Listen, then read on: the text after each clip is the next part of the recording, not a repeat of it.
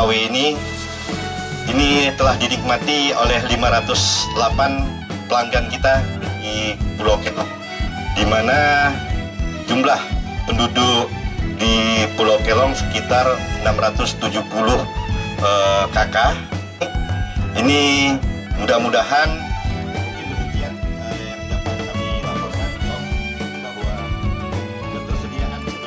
Ditandai dengan penekanan tombol disoran oleh Gubernur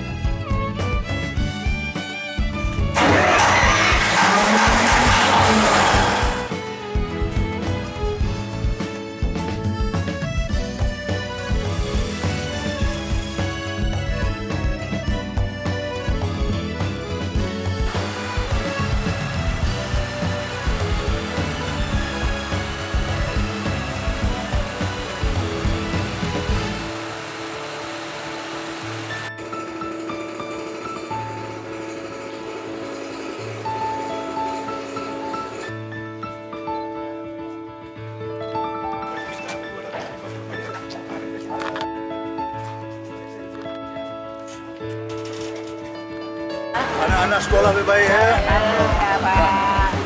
Anak sekolah Pak baik ya. Bersih. Untuk pembangkit di Pulau Kelong, eh, PLN tambahkan mesin satu unit eh, dengan kapasitas eh, 500 eh, kW. Dengan bertambahnya eh, 500 kW, tentunya daya mampu di Pulau Kelong itu bertambah menjadi 1230 kW eh, di mana eh, kapasitas ini digunakan untuk melistriki eh, sebanyak 508 eh, pelanggan dengan beban puncak. Saat ini rata-rata eh, 345 tapi pernah terjadi 380 kW. Sehingga eh, dengan tambahan tersebut dengan cukup tambahan tersebut maka eh, untuk meningkatkan bisa digunakan untuk meningkatkan eh, taraf hidup eh, warga Eh, karena di sini mungkin masih ada sekitar 132 kakak yang belum menikmati listrik.